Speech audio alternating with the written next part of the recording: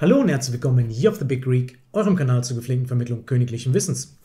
Wie natürlich alle von euch wissen, beginnt bald die Schachweltmeisterschaft am 9. April zwischen Jan Nepomniachtchi und Ding Liren.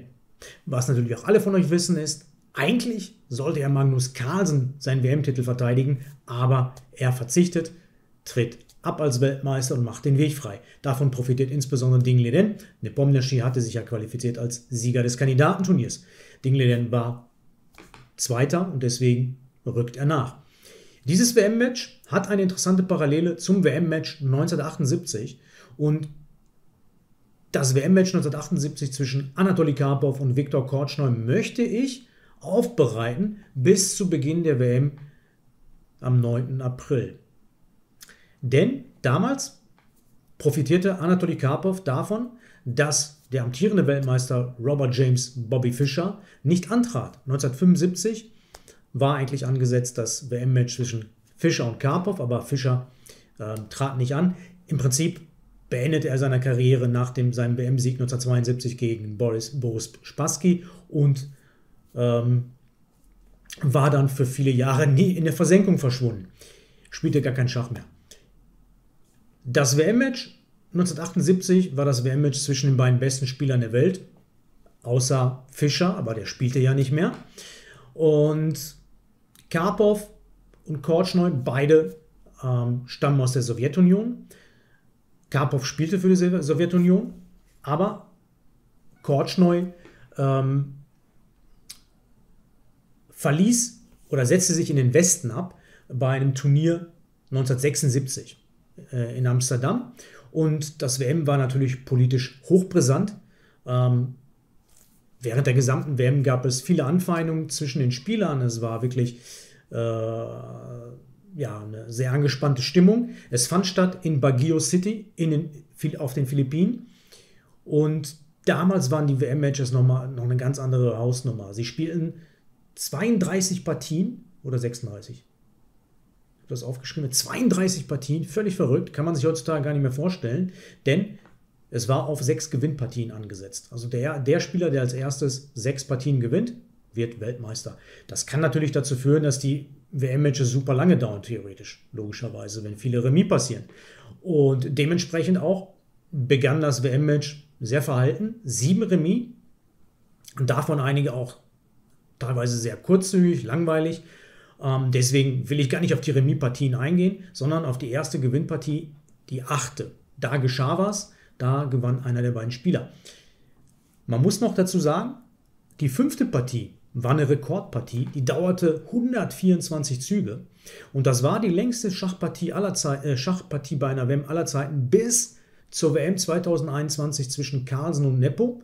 Das war die sechste Partie, die so super lange ging. Acht Stunden. Ich kann mich erinnern, das habe ich mit Christoph Selecki kommentiert, äh, live auf Twitch. Acht Stunden und 134 Züge. Ähm, und das ist jetzt die längste WM-Partie aller Zeiten. Ja, also viel Brisanz in dem Match. Schaut euch gerne den Wikipedia-Artikel an, lest ihn durch, das ist wirklich spannend zu lesen. Ähm, ganz anders als heutzutage natürlich halt diese unglaubliche Brisanz war zwischen diesen beiden Spielern. Karpov war deutlich jünger, 24 Jahre alt, 27 Jahre alt, während Kortschner schon 47 Jahre alt war. Kortschner ist ja auch einer derjenigen, den man immer wieder erwähnt, ähm, der bis ins ganz, bis, äh, ja, im Prinzip bis zu seinem Tod Schach gespielt hat. Ähm, sehr, sehr lange, noch mit 80 hat er noch Schach gespielt, Simultanvorstellungen gegeben. Äh, Im Prinzip, ja, also Schach war sein Leben, gar keine Frage. Also sehr interessante Figur in der Schachgeschichte, aber jetzt möchte ich endlich mit der Partie beginnen. Achte Partie, Karpov hat Weiß und wir gehen rein. E4, E5, Springer F3, Springer C6, Läufer B5, spanische Partie, A6, Läufer A4, Springer F6, Rochade und hier Springer schlicht E4, die offene Variante äh, der spanischen Partie. Ich glaube, Kortschner hat die sehr, sehr viel gespielt. Ihr müsst natürlich auch über, äh, zurückgehen in das Jahr 1978. Da gab es keine Engines, keine Schachprogramme. Es gab wohl Gerüchte, dass die beiden Computer benutzt hätten, aber gut, was hätte das gebracht damals? Ähm, wir werden auch an der Partie sehen, die, so eine Partie zwischen zwei Weltklasse-Spielern, das waren die Nummer 1 und Nummer 2 der Welt, ist heutzutage gar nicht mehr möglich. D4, der Hauptzug, So, jetzt muss man mit Schwarz hier aufpassen, nicht zu gierig sein. Man gibt den Bauern wieder, man spielt zuerst B5, Läufer B3 und hier D5. Deckt den Springer im Zentrum. Weiß hat Entwicklungsvorsprung, es ist gefährlich hier zu gierig zu sein, deswegen gibt man den Bauern wieder. D schlicht E5. Jetzt hängt der Bauer D5, deswegen Läufer E6. Springer BD2. Springer C5. Alles äh, Hauptvariante. C3 hier macht das Feld frei für den Läufer, auch das Feld D4 kontrollieren. Und hier spielt Kortschneu G6.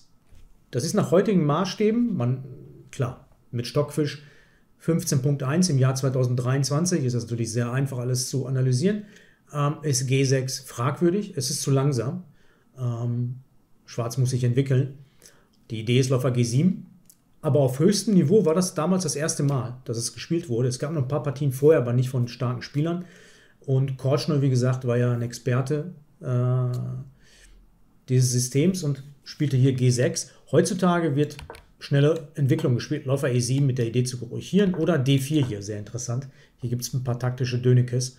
Äh, Läufer E6, Springer E6. Oder Läufer C2, D3 habe ich glaube ich auch schon gesehen. Alles sehr konkret. Überhaupt diese offene Variante ist sehr, sehr konkret. Heißt, man muss wirklich die Theorie sehr gut kennen und es gibt auch im Laufe der Schachgeschichte in den 80er, 90er gibt es wirklich fantastische Partien hier. Okay, G6. Dame E2, ein guter Zug. Man kann auch Läufer C2 spielen, aber Dame E2 ist gut. Läufer G7 attackiert hier den Bauern E5. Was macht Weiß? Springer D4. Riesenzug. Greift hier den C6 an, greift den E6 an. Opfert hier den Bauern. Springer schlicht E5. Das war die Idee von Kortschner natürlich, aber jetzt greift Karpov fulminant an. F4. Der beste Zug ist hier Springer ED3. Dann wird aber Weiß mit F5 weiterspielen und auch starken Angriff haben. Aber es ist besser, den Springer hier auf D3 zu haben. Kortschner spielte Springer C4. F5 natürlich. Schwarz muss nehmen. G schlicht F5. Springer schlicht F5. Toller Springer hier. Das sieht super aus. Nach heutigen Maßstäben wirklich, ui, sehr gefährlich, was Schwarz hier macht. Der König in der Mitte hier, der G7 hängt. Mhm. Turm G8, das war alles Analyse, was vermute ich mal, von Kortschneu. Rochade, warum hat er nicht Rochade gemacht? Das ist Springer G7, König G7. Läufer C2 und der Angriff ist zu stark. Ähm, Dame nach H5, der Springer wird hier nehmen, dann ist der Läufer, guckt hier rein. Ähm, wir sehen an der Engine schon plus 3. Das haben die auch ohne Engine herausgefunden. Turm G8 stattdessen. Und jetzt Springer schlicht C4. Nimmt den starken Springer weg, macht die, die Bahn frei für den Läufer. D schlicht C4, so der Läufer ist angegriffen, muss erstmal zurück nach C2, logisch. Springer D3. Darauf verließ sich wohl Kortschneu, der übrigens für die Schweiz startete, das habe ich vergessen zu erwähnen, nachdem er ähm, in den Westen emigrierte, ähm, spielte er bis zu seinem Le Lebensende für die Schweiz. Lebt auch dort, ich meine, er war auch mit einer Schweizerin verheiratet. Ich glaube, ja. So, es geht hier weiter mit Läufer H6. Guter Zug. Dame G4 ist ja auch sehr stark. Das ist der Stockfischzug. Ich will es nur erwähnen. Ähm, König F8, Läufer E3 und hier gibt es Läufer D3, Läufer C5 Geschichten. Und Weiß steht hier auf Gewinn, laut Stockfisch. Äh, vergesst die Engine hier im Browser, die ist zu langsam dafür. Ähm, Karpov spielt aber Läufer H6. Auch ein guter Zug, greift G7 an. Hier sollte man nehmen Läufer H6, Springer H6, Turm G7, man muss F7 decken, Turm AD1 und hier bekommt Weiß seinen Bauern wieder. Und offensichtlich steht Weiß auch hier besser, der König. Also Schwarz braucht hier einige Tempi, um seinen König einigermaßen in Sicherheit zu bringen und den Turm ins Spiel zu bringen. Und offensichtlich ist die Königssicherheit hier ein Problem für Schwarz. Kortschner spielte Läufer F8, er ging zurück. Jetzt Turm AD1, Weiß hat alle Figuren im Spiel, steht super aktiv. Sein König steht relativ sicher. Klar, es gibt die Diagonale G1 A7. Dort kann Schwarz einen Schach geben, aber der König würde auf H1 sehr sicher stehen. Es geht hier weiter mit Dame D5. Guckt hier nach G2 rein. Auch das ist nicht der beste Zug, aber gut. Ich will jetzt hier nicht alles auf die Goldwaage legen. Wie gesagt, äh, ist natürlich was ganz anderes, das heutzutage zu analysieren. Ähm, Menschlich ist der Zug allemal. Turm G6 ist hier etwas besser. Aber auch hier kommt Läufer D3, CD3, Turm D3. Und auch hier steht Weiß natürlich besser. Ne? Dame B8 und dann Läufer F4. Der Läufer ist gefesselt hier, der Läufer guckt nach C7, also üble Stellung. Dame D5, okay. Droht aber nichts. No? Der Läufer ist ja gefesselt, also können wir auf D3 nehmen. CD3, Turm schlicht D3. Greift die Dame an. So, jetzt muss die Dame auf dieser Diagonale bleiben, sonst kommt einfach Dame F3 oder Dame E4. Ne? Also Dame A2 geht gar nicht, äh, wegen Dame F3, Turm D8 und dann Dame C6 Schach und Schwarz kann aufgeben. Deswegen Dame C6 bleibt auf der Diagonale, guckt weiter nach G2. Hier ging es weiter mit Läufer F8. Dame B6 Schach, kleiner Zwischenzug. König A1, König F8. Okay, der König steht jetzt besser, aber letztendlich hilft das nichts. Dame F3 greift hier den Turm an. Stockfisch würde hier brillieren mit Turm D7. Ähm, Läufer D7 geht nicht wegen Dame E7, das sehen wir alle sofort. Turm G6, aber wie geht es hier weiter? Springer H6 natürlich. Greift hier nochmal den F7 an. Äh, wunderschöne Züge, ne? Turm A6, die Pointe ist Turm F schlicht F7, König G8, ja, Läufer F7 ist Dame E7, Dame F7, Dame G7 matt. König G8 und hier Turm G7, König H8, Dame E5 und dann gewinnt hier das Abzugschach. Also Turm D7 gefolgt von Springer A6 ist schon goldig. Aber natürlich hier Dame F3, was heißt natürlich, Dame F3 auch ein sehr logischer Zug. Er will hier auf F7 attackieren. Ne? Turm E8, Springer A6, gut, es war eh vorbei, deswegen zeige ich jetzt keine anderen Züge, es war wirklich gewonnen.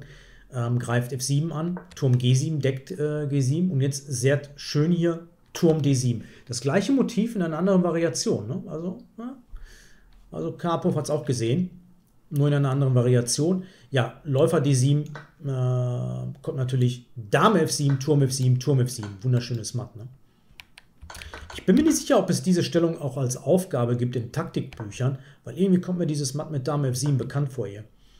Hm, Kortschner spielte Turm B8, ging mit dem Turm weg, um hier Platz zu schaffen, aber hier kommt einfach Springer F7 stark. Ja, wenn man auf F7 nimmt, kommt Turm F7, deswegen Läufer D7 und hier Springer D8 Schach, ein schöner Schlusszug, hat er gut berechnet. Hm, König E8 oder G8 ist Dame F8 matt, aber auch König E7 ist auch Dame F8 matt, egal wo der König hingeht. Schwarz kann das Ganze hinauszögern mit Läufer F5 hier. Dame F5, König E7, Dame F8, König hierhin und dann Dame G7. Ne? König hierhin und dann, ah, hier ist ja matt. Also hier gewinnt Weiß ähm, dick Material. Ne? Der König müsste weglaufen, aber ja, ist natürlich komplett sinnlos weiterzuspielen. Chancenlos. Ja, schöner Auft Auftaktsieg. Schöner erster Sieg bei der WM 78 von Karpov, ging damit 1 zu 0 in Führung. Natürlich möchte ich jetzt nicht verraten, wie es letztendlich ausgegangen ist. Ich will halt die Gewinnpartien mir alle anschauen bis zum Beginn der WM 2023. Ich hoffe, ihr seid d'accord damit.